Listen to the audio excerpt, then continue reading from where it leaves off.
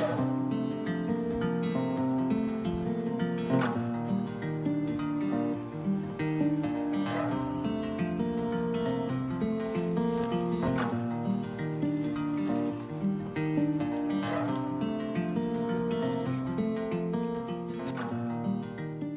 See them tra- you know, traipsing over the over the countryside to get you know, you know melons from here and meat from over here. And so ideally centralized and having it local.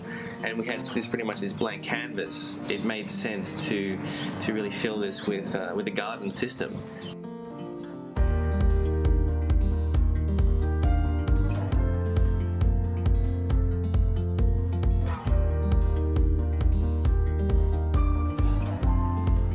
one? This is bok choy. That day I met a girl, she had a bird just like mine.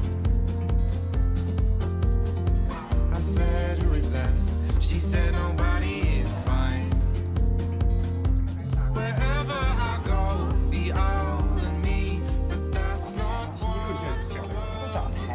You know, the garden's actually producing chocolate and wine.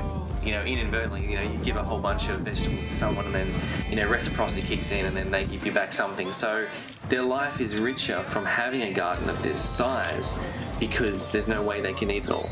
So it's actually adding to the community. Then their circle is ever growing.